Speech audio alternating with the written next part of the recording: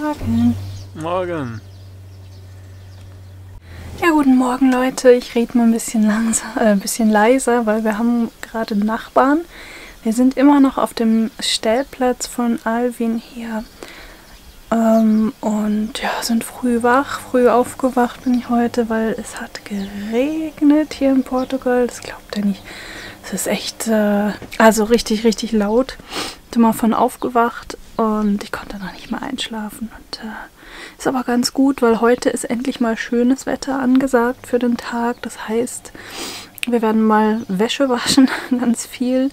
Ähm, gibt es ja auch eine Wäscheleine und wir sind natürlich eingesteckt am Strom ausnahmsweise mal und wir haben ausnahmsweise mal Wasser und müssen nicht drauf gucken. Also das nutzen wir jetzt heute noch. Ähm, mal gucken, wahrscheinlich bleiben wir auch noch eine Nacht. ja. Ja, wir zeigen euch gleich auch mal den Platz. Aber jetzt erstmal wach werden, alle wach werden lassen und dann mal gucken.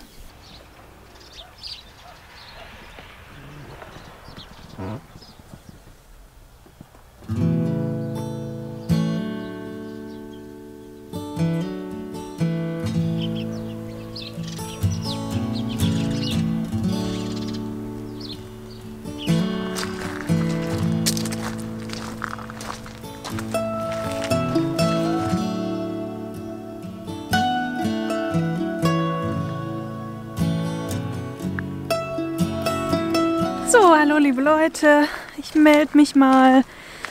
Ja, wir hatten heute einen schönen ruhigen Tag hier. Ähm, Sonnenschein, das war sehr schön. Wir waren auch schon vorhin ein bisschen laufen in der Umgebung. Es ist super, super ruhig. Also der Platz hier ist irgendwie ähm, ziemlich ja, bei so einem Dorf, also eigentlich nur ein paar Häuser so in der nächsten Umgebung. Äh, wir haben beim Spaziergang auch schon das Meer sehen können zwischendurch, aber das ist schon noch ein Stückchen weit weg. Ähm, ja, ist ganz schön, ganz entspannt hier.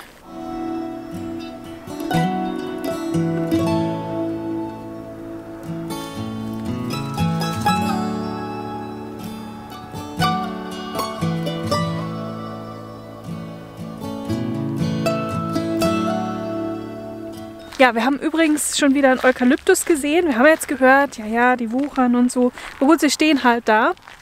Und an sich ist es eine wunderschöne Pflanze. Wir haben jetzt gesehen, ähm, ein Eukalyptusbaum, da waren jetzt ganz viele Früchte dran ähm, und äh, teilweise aufgeblüht, teilweise verblüht. Die Blüten haben wir jetzt auch zum ersten Mal gesehen.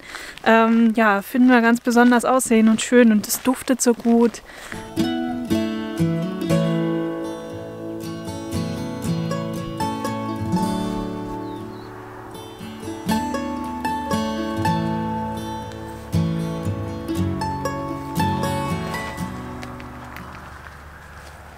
Das ist so eine Korkeiche. Hier ist schon abgeschält, das fühlt sich total hart an. Ja, echt, echt hart, wie Blech oder, oder Stein, wie Beton.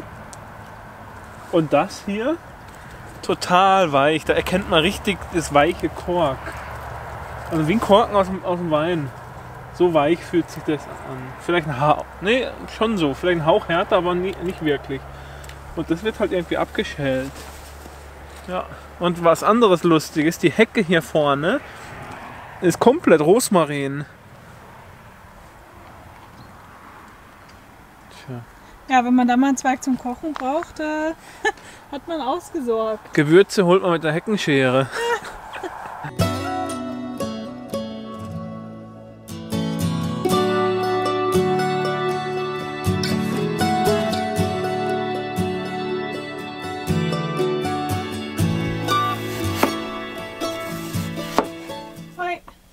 Hoi, Na, was machst du? ich schneide gerade den Belag für die Pizza, die wir jetzt machen. Ah, Eigentlich macht man ja noch Käse drauf, aber wir haben keinen Käse, also dann wird es halt mal eine Kä ohne Käse Pizza. Was man nicht hat, kann man nicht drauf machen. Ja, wir schwelgen im Luxus. Es hat gestern den ganzen Tag geregnet. Wir haben Wä- Wäsche gewaschen und alles und Computer angehabt und wir können trotzdem backen. Wenn wir mal im Strom hängen, dann nutzen wir das natürlich auch. Ich muss euch mal was zeigen. Und zwar, wir haben jetzt was gemacht, was wir noch nie gemacht haben. Oh, die Belichtung, jetzt wird schon besser. Guckt mal. Manche werden jetzt sagen, hä? Da ist ein Kabel eingesteckt. Wir hängen am Strom und das haben wir bisher noch nie gemacht. Irgendwie komisch. Man muss nicht auf den Strom achten in dem Sinn, weil ja, kommt nicht aus dem Akku, sondern kommt aus der Steckdose. Ja, hat auch was. Hi! So, wir fahren ab. Ja, wir fahren ab. Aber jetzt zeige ich euch noch mal ganz kurz den Platz hier. Ja. Und zwar, das ist ein Stellplatz oder Campingplatz von einer Privatperson. Wir stehen hier, wir haben noch einen Nachbarn dabei. Und hier gibt es alles. Hier gibt es einen Bodeneinlass zum Wasser ablassen. Dann laufen wir mal ein kleines Stückchen weiter. Man sieht, wenn das Wetter jetzt besser wäre, die Berge da von der Algarve. Jetzt sieht man es nicht. Meer sieht man vom Eingang aus. Toilettenkassette kann hier rein. Dann laufen wir mal schön den Weg entlang. Ja, bei schlechtem Wetter sieht das alles nicht so berauschend aus, aber eigentlich ganz cool. Hier gibt es ein kleines Klohäuschen. Warst du schon mal in der anderen Tür drin? Geh mal gucken, was da ist. Und hier hinten dran gibt es auch noch ein Waschbecken, eine Waschmaschine, eine Außendusche. Jetzt mal gucken, was Lisanne sagt. Was ist da drin? Eine Toilette mit Waschbecken. Okay, also gibt es zwei Toiletten mit Waschbecken. Ja, Wäscheleinen. Und dort gibt es auch zwei Schläuche. Ich laufe gerade mal hin. Zum Wasserfüllen. Also alles da. Und es gibt auch noch mehr Plätze. Die Plätze an sich ist halt Schotter. Aber da gibt es auch, also hier passen bestimmt zehn Wohnmobile hin, wenn, wenn, wenn man eng steht. Und jetzt gerade sind halt nur zwei da. Ganz schön gemacht. Und der Besitzer ist ein Deutscher hier in Portugal. Total nett. Alvin hieß er, gell? Alvin, genau. Alvin. Hallo Ganz- Alvin. War ganz freundlich, hat auch viel erzählt, war auch selber Reisender früher. Ähm, und das merkt man einfach, weil es super eingerichtet Ja, ne? Es hat genau. alles, was man wirklich braucht. Äh, ist leicht zugänglich, auch ja, also es ist ein prima Platz. Es ist sehr, sehr ruhig gelegen. Also hier sind ist jetzt nicht ähm, so in unmittelbarer Nähe eine Stadt oder ein Dorf oder ein Laden. Aber man kann trotzdem schön spazieren gehen. Haben wir ja gestern auch schon ein bisschen gemacht und hat hier einfach seine Ruhe. Ne? Also man merkt sie liest es auch in den äh, Bewertungen ein bisschen auf Park for Night. Ähm, die Leute wollen eine oder zwei Nächte bleiben und irgendwie bleibt man doch länger, weil es ist so entspannt. War bei uns auch so. Wir dachten eine so. Nacht. Ja, und jetzt sind wir drei Nächte hier gewesen. Ja, ähm, ja ist ein sehr schöner Platz und ich, ja, man fühlt sich einfach willkommen Genau. und das ist schon mal viel wert und der Preis ist auch echt super ähm, für die Gegend, finden wir. Und ja, Der Platz ist ein bisschen zweigeteilt. Es gibt hier am Eingang große Fläche und weiter hinten die Fläche, wo wir jetzt stehen. Laufen wir mal hier vor.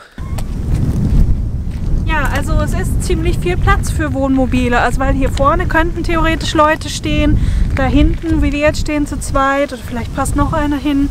Also ja, man hat hier richtig Platz. Ja, der Platz ist echt cool. Können wir echt empfehlen. Sehr entspannt. In der Infobox unten schaut mal rein, da sind die Koordinaten. Und für uns geht jetzt weiter. Ja, Richtung Süden. Ja, hallo du. Guten Tag. Kommst du auch mal gucken? Hey. Oh. Ha? Freust du dich? Ja, Na die, Nach die Nachbarn hier haben Hunde und was wir schon gelernt haben, die Portugiesen, bei denen ist der Hund nicht so ein Haustier, der immer auf dem Schoß sitzt wie bei uns Deutschen, sage ich mal, sondern der Hund ist halt da, der kriegt manchmal Fressen und dann, so- sonst- dann soll er wieder rau- draußen sein oder der ist einfach da und da wird sich nicht so stark drum gekümmert. Zumindest haben wir das jetzt so beko- gehört von den Leuten. Und hier kommen einige Hunde von den Nachbarn, die kommen einfach hier vorbei und dann sind hier fünf Hunde auf dem Hof und gucken interessiert und irgendwann sind sie wieder weg. Aber die machen alle nichts, sind total lieb. Und ist natürlich auch im gleichen Atemzug ein hundefreundlicher Platz. Ne? Also wenn ihr mit eurem Vierbeiner kommt, kein Problem.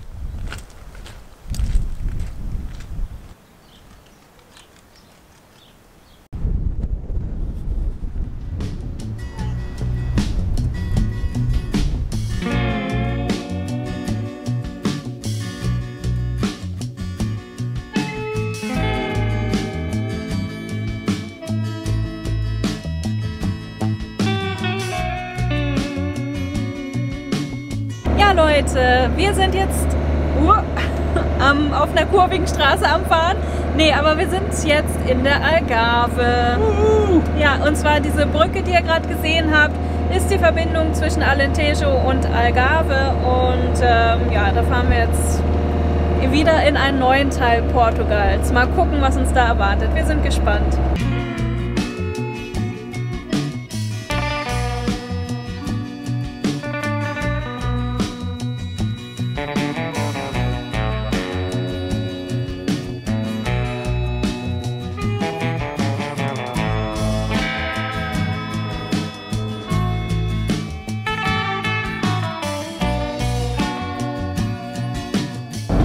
Ja, Leute, wir haben uns entschlossen, wir gehen nach Amerika. Wir fahren nach Amerika.